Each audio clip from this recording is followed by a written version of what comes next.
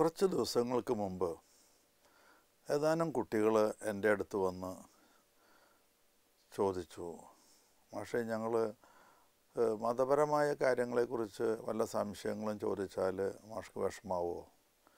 ഞാൻ പറഞ്ഞില്ല ഒരു വിഷമമില്ല നിങ്ങൾ ചോദിക്കുക എന്താണ് എന്താ നിങ്ങളുടെ സംശയം?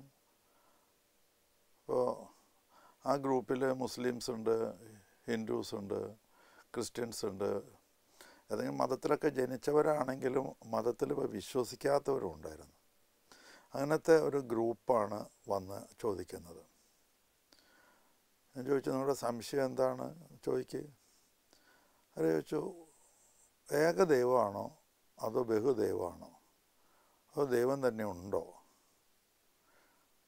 ഇങ്ങനെയൊക്കെയുള്ള ചോദ്യങ്ങളാണ് അവർ ഡിസ്കസ് ചെയ്തുകൊണ്ടിരുന്നത്. അങ്ങനെ ഡിസ്കഷൻ കഴിഞ്ഞപ്പോഴാണ് നമുക്ക് മാഷോടൊന്ന് ചോദിക്കാം എന്ന് പറഞ്ഞ് അവർ എന്റെ അടുത്ത് വരുന്നത്. പറഞ്ഞു നിങ്ങൾ ഡിസ്കസ് ചെയ്യുന്നത് നല്ലത് തന്നെ. കഴിയുന്നതും നിങ്ങൾ ജനിച്ച് വളർന്ന ആ മതമേതാണോ അതിലെ തത്വങ്ങൾ മനസ്സിലാക്കാനും അത് പ്രാവർത്തികമാക്കാനും ശ്രമിക്കുക. മറ്റു മതങ്ങളെക്കുറിച്ച് അറിയുന്നത് നല്ലത് തന്നെ. പക്ഷെ ഇപ്പോൾ നിങ്ങൾ പ്രധാനമായും എൻട്രൻസിനൊക്കെ പഠിക്കുന്നവരാണ്. അതിലാണ് കൂടുതൽ ശ്രദ്ധ ചെലുത്തേണ്ടത്. എന്നാലും ഞങ്ങൾക്കൊരു താല്പര്യമുണ്ട്. അത് അറിയാൻ വേണ്ടിയിട്ടാണ് എന്ന് പറഞ്ഞു. ഞാൻ അവരോട് പറഞ്ഞു എന്റെ വിശ്വാസം ഒരു ദൈവമേ ഉള്ളൂ എന്നാണ്. അതിന് കാരണം എന്താണെന്ന് ഞാൻ പറയാം. ഒരു രാഷ്ട്രീയ പാർട്ടിയിൽ ഒന്നിലധികം മെമ്പേഴ്സ് ഉണ്ടെങ്കിൽ അവർ തമ്മിൽ എപ്പോഴും എന്തെങ്കിലും അടിയുണ്ടാവും. അങ്ങനെ അടിയില്ലാത്ത ഒരു രാഷ്ട്രീയ പാർട്ടി മാത്രമേ ഞാൻ എന്റെ ജീവിതത്തിൽ കണ്ടിട്ടുള്ളൂ. അപ്പോൾ അവർ ചോദിച്ചു അത് ഏതാ അവരൊന്നും കേട്ടിട്ടില്ല അത്. നിങ്ങളും ചിലപ്പോൾ കേട്ടിട്ടുള്ളവർ കുറവായിരിക്കാം. ലോനപ്പൻ നമ്പാടന്റെ ഒരു പാർട്ടി ഉണ്ടായിരുന്നു. അദ്ദേഹം ഒറ്റയ്ക്ക് ഒരു പാർട്ടി അദ്ദേഹം അതിന്റെ എല്ലാമായിരുന്നു. ചെയർമാൻ പ്രസിഡന്റ് സെക്രട്ടറി എല്ലാം അദ്ദേഹം തന്നെയായിരുന്നു. അദ്ദേഹത്തിന്റെ പാർട്ടിയിൽ ഒരു വഴക്കം ഉണ്ടായി കേട്ടിട്ടില്ല. കാരണം ഒരാളേ ഉള്ളൂ. ഒന്നിലധികം ആൾ വന്നാൽ അവിടെ അഭിപ്രായ വ്യത്യാസം വരും.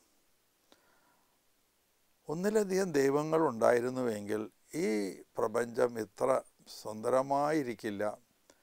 ഇത്രയും സുന്ദരമായി ഇങ്ങനെ പോകില്ല. എത്രയോ വർഷങ്ങൾ ആയിരം പതിനായിരം കണക്കിന് കൊല്ലങ്ങൾ ഇത് നിലനിന്നില്ലേ? അപങ്കുരം നിലനിന്നു. അപ്പോൾ ഒന്നിലധികം ദൈവങ്ങൾ ഉണ്ടാകാൻ വഴിയില്ല. ഇതാണ് എന്റെ കൺക്ലൂഷൻ എന്ന് അവരോട് പറഞ്ഞു. അവർക്ക് ഏതാണ്ട് ബോധ്യപ്പെട്ടതുപോലെ ഇങ്ങനെ തോന്നി. അപ്പോൾ ഒരുത്തൻ ചോദിച്ചു നമ്മുടെ ക്രിസ്ത്യാനിറ്റിയിൽ പിതാവ് പുത്രൻ പരിശുദ്ധ ആത്മാവുണ്ടല്ലോ പറഞ്ഞുകൊണ്ട് ഹിന്ദുസ് പറഞ്ഞു ഞങ്ങൾക്കുമുണ്ട് ത്രിമൂർത്തികൾ. മുസ്ലിംസ് ഒരു കുട്ടി പറഞ്ഞു ഞങ്ങൾ ഏകദൈവത്തിലാണ് വിശ്വസിക്കുന്നത് അള്ള. മുഹമ്മദ് നബിയെ പോലും ഞങ്ങൾ ദൈവമായിട്ടല്ല കണക്കാക്കുന്നത് പ്രവാചകനായിട്ടാണ് ഞങ്ങൾ കണക്കാക്കുന്നത്. ഇങ്ങനെയൊക്കെ അവർ പറഞ്ഞു. ഞാനപ്പോൾ അവരോട് ചോദിച്ചു ഇങ്ങനെ നമ്മൾ പല പദങ്ങൾ കേട്ടിട്ടില്ലേ? ദൈവം ഈശ്വരൻ അങ്ങനെ പല പേരുകൾ നമ്മൾ കേട്ടിട്ടുണ്ടല്ലോ. അതിലേതാ ശരിയായ പേര്? ഞാൻ പറഞ്ഞ എല്ലാ പേരുകൾ പേരുകളും അർത്ഥവത്താണ്. എല്ലാ പേരുകൾക്കും അതിന്റെ അർത്ഥമുണ്ട്. ഈശ്വരൻ എന്ന് പറയുമ്പോൾ ഈശ്വരൻ എന്ന് പറഞ്ഞാൽ ഐശ്വര്യമുള്ളവൻ എന്നാണ് അർത്ഥം. ഐശ്വര്യം എന്ന് പറഞ്ഞാൽ നമ്മൾ വിചാരിക്കുന്ന പോലെ അല്ല അതിന്റെ അർത്ഥം. എല്ലാത്തിന്റെയും മേലെ കൺട്രോളുള്ളവൻ എന്നാണ് ഐശ്വര്യമുള്ളവൻ എന്ന് പറയുന്നതിന്റെ അർത്ഥം. എല്ലാത്തിന്റെയും മേലെ കൺട്രോൾ ഉള്ളവൻ സമ്പത്തിന്റെ മേലെയും കൺട്രോൾ അവനുണ്ടാവും. അധികാരത്തിന്റെ മേലെ കൺട്രോൾ ഉണ്ടാവും. എല്ലാത്തിന്റെയും മേലെ കൺട്രോൾ ചിലർ ഭഗവാൻ എന്ന് വിളിക്കും. ഭഗവാൻ എന്ന് പറഞ്ഞാൽ ഭഗം ഉള്ളവനാണ് ഭഗവാൻ. ഭഗം എന്ന വാക്കിന് ആറ് ഗുണങ്ങളുള്ളവൻ എന്നാണ് അർത്ഥം. യശസ് അങ്ങനെ ജ്ഞാനം അങ്ങനെ കുറേ ആറ് അറിവുകളുള്ള വ്യക്തിയെ ആണ് ഭഗവാൻ എന്ന് വിളിക്കുന്നത്. ഇതൊക്കെ ഓരോരുത്തരും ഓരോ പേരുകൾ ഇങ്ങനെ വിളിക്കുന്നു എന്ന് മാത്രമേ ഉള്ളൂ. എല്ലാം ഒന്ന് തന്നെയാണ്. ഞാനൊരു ഉദാഹരണവും കൂടി അവരോട് പറഞ്ഞു. നമ്മൾ കേരളത്തിൽ വെള്ളം എന്ന് വിളിക്കും. തമിഴ്നാട്ടിലേക്ക് കടന്നാൽ അവർ തണ്ണി എന്ന് പറയും. വടക്കേ ഇന്ത്യയിലേക്ക് പോയാൽ അവർ പാനി എന്ന് പറയും. സായിപ്പ് അതിനെ വാട്ടർ എന്ന് വിളിക്കും. നമുക്കറിയാലോ ഇതെല്ലാം ഒന്നാണ്. എച്ച് ടു ഒ ഹൈഡ്രജനും ഓക്സിജനും ഒരു പ്രത്യേക അനുപാതത്തിൽ ചേർന്നുണ്ടാകുന്നതാണ് വെള്ളമെന്ന് നമുക്കറിയാം. പക്ഷെ പലരും പല വിധത്തിൽ വിളിക്കുന്നു. ഇത്രയേ വ്യത്യാസം ഞാൻ കണക്കാക്കുന്നുള്ളൂ. എനിക്ക് കൂടുതലൊന്നും അതേപ്പറ്റി പറയാൻ ഉള്ള അറിവില്ല. ഇത്രയൊക്കെ എനിക്ക് തോന്നുന്നുള്ളൂ. അവർ പോയി. ഇങ്ങനെ ഞാൻ അതേക്കുറിച്ച് മുമ്പ് ചിന്തിച്ച് വെച്ചിട്ടുള്ള പല കാര്യങ്ങൾ കൂടി എന്റെ മനസ്സിലേക്ക് ഇങ്ങനെ കടന്നു വന്നു. അത് നിങ്ങളുമായിട്ട് ഷെയർ ചെയ്യാമെന്ന് ഞാൻ വിചാരിച്ച് ഈ എപ്പിസോഡ് ഇവിടെ തുടങ്ങിയത്. എപ്പോഴാണ് ദൈവം ഉണ്ടായത്? ദൈവം അനാദി മുതൽ ഉള്ള ആളാണ്. പക്ഷേ നമ്മൾ മനുഷ്യന് എപ്പോഴാണ് ദൈവം അനുഭവപ്പെടുന്നത്? ബൈബിൾ വളരെ വ്യക്തമായിട്ട് പറയുന്നുണ്ട് ദൈവം ആദത്തിനെ സൃഷ്ടിച്ചു ഹവ്വയെ സൃഷ്ടിച്ചു. ആദത്തിന്റെയും ഹവ്വയുടെയും കൂടെ നടന്നിരുന്നു എന്നൊക്കെ വളരെ കൃത്യമായി പറയുന്നുണ്ട്. അപ്പോൾ ദൈവം ഇവരുമായിട്ട് അടുത്ത സമ്പർക്കം മനുഷ്യരുമായിട്ട് അടുത്ത സമ്പർക്കം ഉണ്ടായിരുന്നവരാണ് ഉണ്ടായിരുന്ന ആളാണ്. എല്ലാം സൃഷ്ടിച്ച് കാത്ത് പരിപാലിക്കുന്ന വ്യക്തി. എല്ലാം സൃഷ്ടിച്ച് കാത്ത് പരിപാലിക്കുന്ന വ്യക്തി. ഉൽപ്പത്തിയുടെ പുസ്തകത്തിൽ ആ സൃഷ്ടികർമ്മത്തെക്കുറിച്ച് പറയുന്നുണ്ട്. അത് ഭൂമിയും അതിന് ചുറ്റുമുള്ള പ്രപഞ്ചവും ഒക്കെയാണ്. അല്ലെങ്കിൽ സൂര്യനും അതിന് ചുറ്റുമുള്ള പ്രപഞ്ചവുമാണ്. ഇതുപോലെ അനേകം പ്രപഞ്ചങ്ങളുണ്ട്. അതൊക്കെ ദൈവം തന്നെ സൃഷ്ടിച്ചു എങ്കിലും അതിനെപ്പറ്റി ഒന്നും നമ്മുടെ പുസ്തകത്തിൽ ബൈബിളിൽ പറയുന്നില്ലെന്നേ ഉള്ളൂ. ഈ ബൃഹത്തായ പ്രപഞ്ചം സൃഷ്ടിച്ചതും അതിനെ കൺട്രോൾ ചെയ്തുകൊണ്ടിരിക്കുന്നതുമായ ആരാണോ? ആ ആളാണ് ദൈവം. ഈ ബൃഹത്തായ പ്രപഞ്ചം സൃഷ്ടിച്ചതും അതിനെ ഓരോ നിമിഷവും കൺട്രോൾ ചെയ്തുകൊണ്ടിരിക്കുന്നതുമായ ആ വ്യക്തിയാണ് ദൈവം. ആണ് ഐശ്വര്യം ഉള്ളവൻ. ഐശ്വര്യം വെച്ചാൽ കൺട്രോൾ കൺട്രോൾ ഉള്ളവൻ. എല്ലാറ്റിന്റെയും മേലെ കൺട്രോൾ ഉള്ളവൻ. ആണ് ഈശ്വരൻ സർവേശ്വരൻ ജഗജി ജഗദീശ്വരൻ എന്നൊക്കെ. നമ്മൾ പറയാറുണ്ടല്ലോ ഈശോ. ആ ഈശോ എന്നുള്ള വാക്കും ഈശ്വരൻ എന്നുള്ള വാക്കിൽ നിന്ന് വന്നതാണെന്നാണ് എന്റെ ഒരു നിഗമനം. ഈശോ. ഒരു ഉപനിഷത്തുണ്ട് ഈശോ പാശ ഉപനിഷത്ത് അപ്പോൾ ഈശോ എന്നുള്ള വാക്ക് ഒരു സർവസമ്മതമായ ഒരു വാക്കായിട്ടാണ് എനിക്ക് തോന്നുന്നത്. സർവത്തിന്റെ മേലെ കൺട്രോൾ ഉള്ളവൻ എന്നാണ് അതിന്റെ അർത്ഥം. ഞാനിങ്ങനെ പറഞ്ഞു കുട്ടികളോട് മതങ്ങളുണ്ടായത് എപ്പോഴാണെന്ന് നിങ്ങൾക്കറിയോ? അപ്പോൾ അവർക്കത് അറിയില്ല. ഞാൻ പറഞ്ഞു മനുഷ്യൻ ദൈവത്തെ അന്വേഷിക്കാൻ തുടങ്ങിയപ്പോഴാണ് മതങ്ങൾ ഉണ്ടായത്. ദൈവത്തെ അന്വേഷിക്കാൻ തുടങ്ങിയപ്പോൾ പക്ഷെ ദൈവത്തെ അന്വേഷിച്ചാൽ നമുക്ക് പൂർണമായി മനസ്സിലാവില്ല. അതൊക്കെ ലോജിക്കലാണത്. കാരണം ദൈവമെന്ന് പറയുന്നത് നമ്മുടെ കൺസെപ്റ്റിലെ അനന്തനായ ഒരാളാണ്. അനന്തമായ കഴിവുകളുള്ള സിദ്ധികളുള്ള ഒരാളാണ് ദൈവം. നമ്മളൊക്കെ പരിമിതികളുള്ളവരാണ്. ഫൈനൈറ്റ്. ദൈവം ഇൻഫിനിറ്റ്. മനുഷ്യൻ ഫൈനൈറ്റ്. ഫൈനൈറ്റ് ആയിട്ടുള്ള ഒരാൾക്ക് ഇൻഫിനിറ്റ് ആയിട്ടുള്ള ഒന്നിനെ ഉൾക്കൊള്ളാൻ കഴിയില്ല. മുഴുവനായിട്ട് മനസ്സിലാക്കാൻ കഴിയില്ല. മനുഷ്യൻ ദൈവത്തെ അന്വേഷിച്ച് പോയാൽ അത് കുരുടന്മാർ ആനയെ കാണാൻ പോയ പോലെ ഇരിക്കും.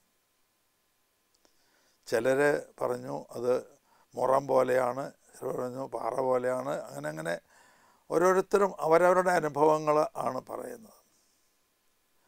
ദൈവത്തെക്കുറിച്ച് നമുക്ക് അറിയണമെങ്കിൽ ദൈവം തന്നെ ദൈവത്തെക്കുറിച്ച് നമുക്ക് വെളിപ്പെടുത്തി തരണം.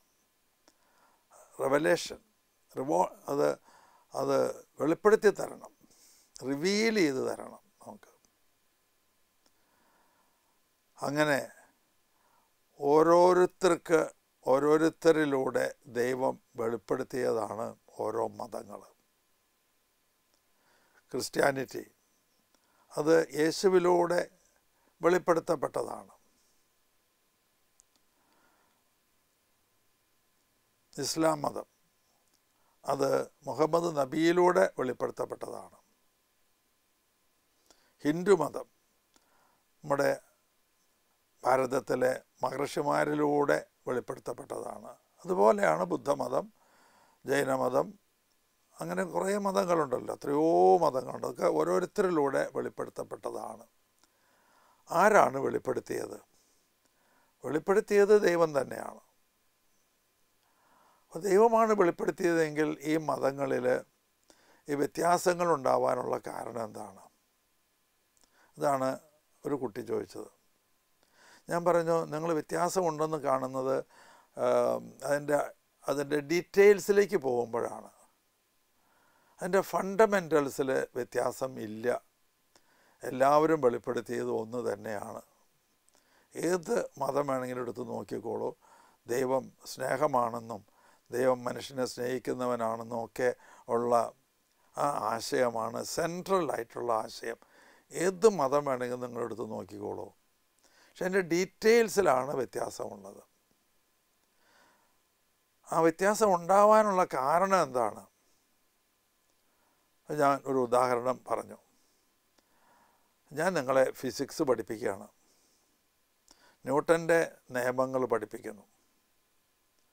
ന്യൂട്ടന്റെ നിയമങ്ങൾ ഞാനൊരു രണ്ടോ നാലോ അഞ്ചോ ആറോ ക്ലാസ് എടുത്ത് പഠിപ്പിച്ച് കഴിഞ്ഞ് ഞാനൊരു പരീക്ഷ നടത്തി നിങ്ങൾക്ക്. നിങ്ങൾ അമ്പതോ അറുപതോ പേരുണ്ട്. പക്ഷേ അറുപത് പേർക്ക് നൂറ് ശതമാനം മാർക്ക് കിട്ടില്ല. ചിലർക്ക് എൺപതാവും അറുപതാവും നാൽപ്പതാവും പത്തും വട്ടപൂജ്യവും തോറ്റുപോയ ഒക്കെ ഉണ്ടാവും. അതെന്താ കാരണം? ഞാനല്ലേ ഫിസിക്സിലെ തത്വങ്ങൾ വെളിപ്പെടുത്തിയത്? എല്ലാവർക്കും ഒരുപോലെ കിട്ടണ്ടേ? എല്ലാവർക്കും ഒന്നല്ലേ ഞാൻ വെളിപ്പെടുത്തിയത്? പക്ഷെ വ്യത്യാസം ഉണ്ടാവാൻ കാരണം. ഇത് ആരിലൂടെയാണ് അത് പുറത്തേക്ക് വന്നത്. പരീക്ഷയിൽ പുറത്ത് വരുന്നത് ഓരോ വ്യക്തിയിലും കൂടെയാണ്. ഞാനാണ് വെളിപ്പെടുത്തിയെങ്കിലും അത് ഓരോരുത്തരും പരീക്ഷയിൽ എഴുതി വയ്ക്കുന്നത് അവരവനിൽ കിട്ടിയതാണ്. അപ്പോൾ ആരിലൂടെ വെളിപ്പെടുത്തപ്പെട്ടുവോ? പുറത്തേക്ക് വരുന്നത്. അതാണ് ഞാൻ ഉദ്ദേശിക്കുന്നത് ഇവിടെ വെളിപ്പെടുത്തപ്പെടൽ ഞാൻ പറഞ്ഞു കൊടുത്ത കാര്യങ്ങളെക്കുറിച്ചല്ല ഇവിടെ പറയുന്നത്. അവർക്ക് കിട്ടിയത് അവർ വെളിപ്പെടുത്തുകയാണ് പരീക്ഷയിലൂടെ. അത് വ്യത്യസ്തമായിരിക്കുന്നതിന്റെ കാരണം വ്യത്യസ്തരായ വ്യക്തികളിലൂടെ വെളിപ്പെട്ടതാണ്. അതുപോലെ ചെറിയ ചെറിയ മാറ്റങ്ങൾ ഈ വ്യത്യസ്തമായ മതങ്ങളിൽ നമ്മൾ കാണുന്നതിന്റെ പുറകിൽ വെളിപ്പെടുത്തപ്പെട്ട വ്യക്തികളിലുള്ള ചെറിയ വ്യത്യാസങ്ങളാണ്. ഓരോരുത്തരും ഓരോ കാര്യത്തിന് ഊന്നൽ കൊടുത്തിട്ടുണ്ടാവും. അവർക്ക് ഒരു വിഷൻ ഉണ്ടാവും. ഞാൻ ഈ കാര്യത്തിന് ഊന്നൽ കൊടുക്കുന്നു. അവിടെയാണ് ഡീറ്റെയിൽസിൽ വ്യത്യാസം വരുന്നത്. എനിക്ക് തോന്നിയ അവർ ഏകദേശം സാറ്റിസ്ഫൈഡ് ആയിട്ട് പോയതുപോലെയാണ് എനിക്ക് തോന്നിയത്. ഞാൻ പിന്നീടും അതിനെക്കുറിച്ച് ആലോചിക്കേണ്ടായി നമ്മുടെ വിശുദ്ധ ബൈബിളിൽ വെളിപ്പെടുത്തപ്പെട്ടത് യേശുവിലൂടെയാണ്. അതിനു മുമ്പ് പ്രവാചകരിലൂടെ വെളിപ്പെടുത്തപ്പെട്ടിട്ടുണ്ട്. അത് യഹൂദ മതവും ഒക്കെയാണ്. യഹൂദ മതത്തിൽ ഏകദൈവമാണ്. ക്രിസ്തു മതത്തിൽ ഏക ദൈവമല്ല ത്രിയേക ദൈവമാണ്. ഒരു ദൈവത്തിൽ മൂന്ന് വ്യക്തിത്വങ്ങളുള്ളതായിട്ടാണ്. ഇത് എവിടെ നിന്ന് കിട്ടി എന്ന് ഞാനിങ്ങനെ അങ്ങനെ ഇരിക്കുമ്പോഴാണ് പെട്ടെന്നൊരു ദിവസം ഒരു വ്യക്തി ഇങ്ങനെ പറഞ്ഞ കാര്യം എന്റെ മനസ്സിൽ പെട്ടെന്ന് സ്ട്രൈക്ക് ചെയ്തു. അത് ഉൽപ്പത്തിയുടെ പുസ്തകം പതിനെട്ടാം അധ്യായത്തിൽ ഒന്ന് മുതലുള്ള തിരുവചനങ്ങളാണ്. അതിങ്ങനെയാണ് വായിക്കുന്നത്. മാമ്രയുടെ ഓക്കുമരത്തോപ്പിന് സമീപം കർത്താവ് അബ്രാഹത്തിന് പ്രത്യക്ഷപ്പെട്ടു. അപ്പോൾ കർത്താവാണ് പ്രത്യക്ഷപ്പെട്ടത്. അബ്രാഹത്തിന് പ്രത്യക്ഷപ്പെട്ടു. അബ്രാഹം തന്റെ കൂടാരവാതിക്കൽ ഇരിക്കുകയായിരുന്നു. അവൻ തല ഉയർത്തി നോക്കിയപ്പോൾ മൂന്ന് ആളുകൾ തനിക്കെതിരെ നിൽക്കുന്നത് കണ്ടു. ഇത് ദൈവം അബ്രാഹത്തിന് വെളിപ്പെടുത്തി കൊടുത്ത ഒരു കാര്യമാണ്. ദൈവത്തിൽ മൂന്ന് വ്യക്തിത്വങ്ങളുണ്ട് എന്ന് ആദ്യമായി ദൈവം തന്നെ അബ്രാഹത്തിന് വെളിപ്പെടുത്തുകയാണ്. അബ്രാഹം നോക്കിയപ്പോൾ കർത്താവാണ് പ്രത്യക്ഷപ്പെട്ടത് എന്നെഴുതിയിട്ടുണ്ട് അടുത്ത വരിയിൽ അബ്രാഹം നോക്കിയപ്പോൾ മൂന്നാളുകൾ നിൽക്കുന്നത് കണ്ടു. അപ്പം അബ്രാഹത്തിന് കിട്ടിയ വെളിപ്പെടുത്തലാണ് എന്ന് എനിക്ക് മനസ്സിലായി. ഇനി അടുത്ത വരി വായിക്കുമ്പോൾ കാണാൻ പറ്റും. അബ്രാഹം അവരെ എതിരേൽക്കാൻ വേണ്ടി എഴുന്നേറ്റ് കൂടാരവാതുക്കൽ നിന്ന് എഴുന്നേറ്റ് ഓടിച്ചെന്ന് നിലം പറ്റെ താണ് ഒരു വണങ്ങി കർത്താവിനെ വണങ്ങി. എന്നിട്ടോ അവൻ ഇങ്ങനെ പറഞ്ഞു യജമാനനെ യജമാനന്മാരെ എന്നല്ല മൂന്നാളെ കണ്ടു എന്ന് എഴുതിയിട്ടുണ്ട്.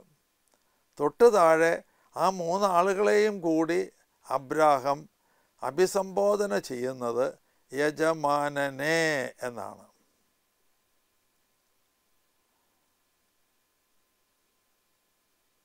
അപ്പോൾ ആ മൂന്ന് പേരും ഒന്നാണ് എന്ന് അബ്രാഹത്തിന് വെളിപ്പെട്ട് കിട്ടിയതാണ്.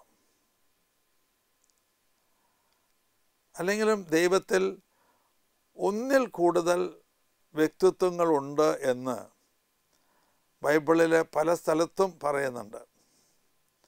ഉൽപ്പത്തിയുടെ പുസ്തകം ഒന്നാം അധ്യായത്തിൽ തന്നെ ഇങ്ങനെ പറയുന്നുണ്ട്. ദൈവം അരുളി ചെയ്തു നമുക്ക് ഒന്നാം അധ്യായത്തിൽ ഇരുപത്താറാം തിരുവചനമാണ് നമുക്ക് നമ്മുടെ ഛായയിലും സാദൃശ്യത്തിലും മനുഷ്യനെ സൃഷ്ടിക്കാം. ദൈവം അരുളി ചെയ്തു എനിക്ക് എന്റെ ഛായയിൽ എന്ന്. അല്ല. നമുക്ക് നമ്മുടെ ഛായയിൽ എന്ന്. ഇതിനെക്കുറിച്ചൊക്കെ ചിന്തിച്ചപ്പോൾ എനിക്ക് എന്റെ ചെറുപ്പത്തിലേ ഉള്ളൊരു അനുഭവം ഇങ്ങനെ ഓർമ്മ വന്നു. ഞാൻ ഏറ്റവും കൊച്ചുകുട്ടിയായിരിക്കുന്ന കാലഘട്ടത്തിൽ ഓൾട്ടർ ബോയ് ആയിരുന്ന കാലഘട്ടത്തിൽ നമ്മുടെ ബിഷപ്പ് അത്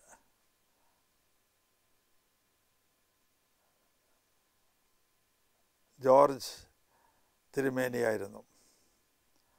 ജോർജ് തിരുമേനിയുടെ ഓൾട്ടർ ബോയും കൂടിയായിരുന്നു ഞാൻ. അപ്പോൾ അദ്ദേഹം അന്നൊക്കെ ലേഖനങ്ങൾ പള്ളിയിൽ വായിക്കാനായിട്ട് എഴുതുമ്പോൾ നാം എന്നാണ് പറയുക നാം. അത് എന്തുകൊണ്ടാണ് അവരൊക്കെ നാം എന്ന് ഉപയോഗിച്ചിരുന്നത്? അന്ന് തന്നെ ഒരു ദൈവത്തിൽ ഒരു ഒരു ഒന്നിലധികം വ്യക്തികളുണ്ടായിരുന്നു. നമുക്ക് നാം അരുളി ചെയ്യുന്നു എന്നൊക്കെയാണ്. അത് ഡിവൈനായിട്ടുള്ള എന്തോ അതിൽ ഒന്നിലധികം ഉണ്ട് എന്നുള്ള ഒരു സങ്കല്പമായിരിക്കണം അതിന്റെ പുറകിൽ ഇപ്പോൾ അങ്ങനെയല്ല. കാരൊക്കെ മാറി? ഇവർ ഇപ്പോൾ പിതാക്കന്മാരൊക്കെ ഞാൻ എന്ന് തന്നെയാണ് പറയുന്നത്. അത് ദൈവത്തിന്റെ ഒരു പ്രതിച്ഛായ കൂടി ആ ബിഷപ്പിന് ആട്രിബ്യൂട്ട് ചെയ്തിരുന്നു. അതുകൊണ്ടാണ് നാം എന്നൊക്കെ അവിടെ അവർ പറഞ്ഞിരുന്നതെന്ന് ഞാൻ വിശ്വസിക്കുകയാണ്. അങ്ങനെ ഈ മൂന്ന് പേരും ഒന്നാണ് എന്ന് അബ്രാഹത്തിന് വെളിപ്പെട്ട് കിട്ടി. ഈ മൂന്ന് പേരും ആരാണ് എന്നൊന്നും അവിടെ പറഞ്ഞിട്ടില്ല. ഷുൽപ്പത്തിയുടെ പുസ്തകം ഒന്നാം അധ്യായത്തിൽ ഒന്ന് രണ്ട് മൂന്ന് തിരുവചനങ്ങളുടെ ഉള്ളിൽ പറയുന്നുണ്ട്. സൃഷ്ടികർമ്മത്തിന് മുമ്പ് ആത്മാ ദേവാത്മാവ് വെള്ളത്തിന് മീതെ ചലിച്ചിരുന്നു. ആത്മാവ് വെള്ളത്തിന് മീതെ ചലിച്ചിരുന്നു. അപ്പോൾ പരിശുദ്ധാത്മാവിനെ കുറിച്ചുള്ള ആ ചിന്ത അത് ഉൽപ്പത്തിയുടെ പുസ്തകത്തിൽ ഒന്നാം അധ്യായത്തിൽ ഒന്നാമത്തെ തിരുവചനത്തിൽ തന്നെ ഉണ്ട്.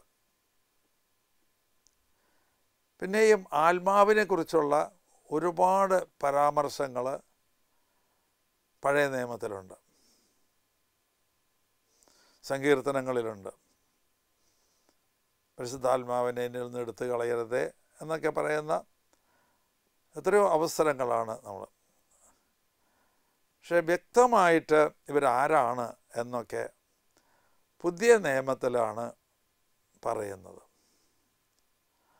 പുതിയ നിയമത്തിലെ രണ്ട് സ്ഥലത്ത് വ്യക്തമായിട്ട് നമുക്ക് കാണാനായിട്ട് കഴിയും. ദൈവത്തിൽ മൂന്ന് വ്യക്തിത്വങ്ങളുണ്ട് എന്നും അവ മൂന്നും ഒന്നാണ് എന്നും നമുക്ക് വ്യക്തമായിട്ട് കാണാനായിട്ട് കഴിയുന്ന രണ്ട് സന്ദർഭങ്ങളുണ്ട്. എന്റെ ഇടയ്ക്ക് വെച്ച് യേശു പറയുന്നുണ്ട് എന്നെ കാണുന്നവൻ പിതാവിനെ കാണുന്നു. അപ്പോൾ എന്നെ ഞാൻ പുത്രനാണ് എന്ന് അവിടെ വരുന്നു. പിതാവിനെ കാണുന്നു എന്ന് പറയുമ്പോൾ പുത്രനാണ്. അപ്പോൾ പിതാവും പുത്രനും അവിടെയുണ്ട്. ഞാനും പിതാവും ഒന്നാണ്. എന്നും പറയേണ്ട. അപ്പോൾ പിതാവും പുത്രനും അവിടെയുണ്ട്. പിന്നെ യേശു മാമോദിസ മുങ്ങിയ അവസരത്തിലാണ് ഇവർ മൂന്ന് പേരെയും വ്യക്തമായി മൂന്ന് പേരെയും കുറിച്ച് വ്യക്തമായി പ്രതിപാദിക്കുന്നത്. യേശു മാമോദിസ സ്വീകരിക്കുന്നു പുത്രൻ. പരിശുദ്ധാത്മാവ് പ്രാവിന്റെ രൂപത്തിൽ യേശുവിന്റെ മേൽ വന്നിരിക്കുന്നു.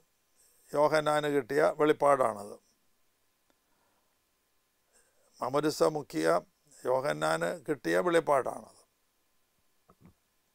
വെളിപ്പെടുത്തലാണത്. ദൈവം വെളിപ്പെടുത്തി കൊടുക്കുന്നത് അപ്പോഴേ പറയാൻ പറ്റുള്ളൂ നമുക്ക്. ഈ അവസരത്തിൽ സ്വർഗത്തിൽ നിന്നൊരു സ്വരം ഉണ്ടാകുന്നുണ്ട്.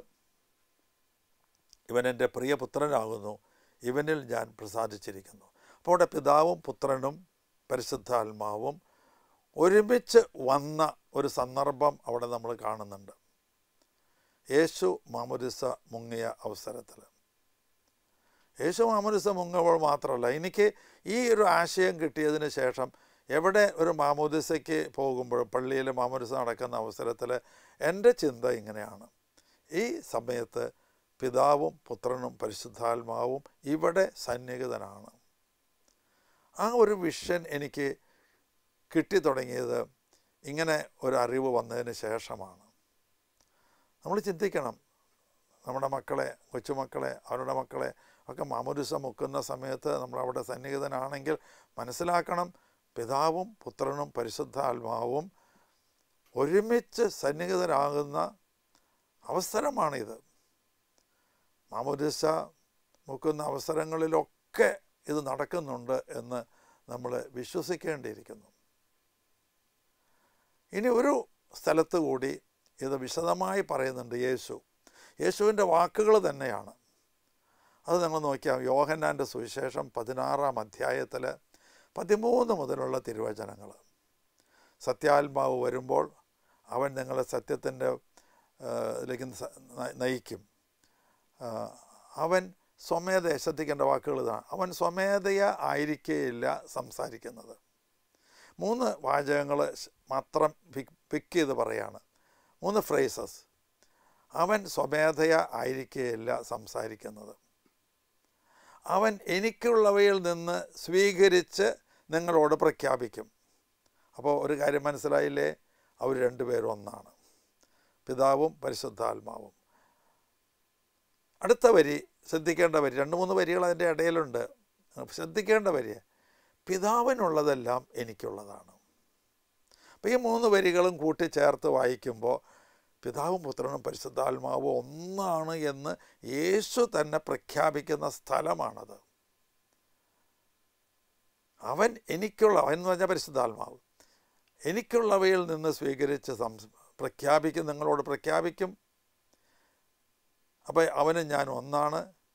പിതാവിനുള്ളതെല്ലാം എനിക്കുള്ളതാണ്. അപ്പോൾ പിതാവും പുത്രനായ ഞാനും പരിശുദ്ധാത്മാവും ഒന്നാണ് എന്ന് യേശു തന്നെ പ്രഖ്യാപിക്കുന്ന ഒരു സന്ദർഭം ആണ് അത്. ദൈവം നമ്മളെല്ലാം സമൃദ്ധമായി അനുഗ്രഹിക്കട്ടെ എന്ന് പ്രാർത്ഥിച്ചുകൊണ്ട് ഈ എപ്പിസോഡ് ഇവിടെ നിർത്തുന്നു.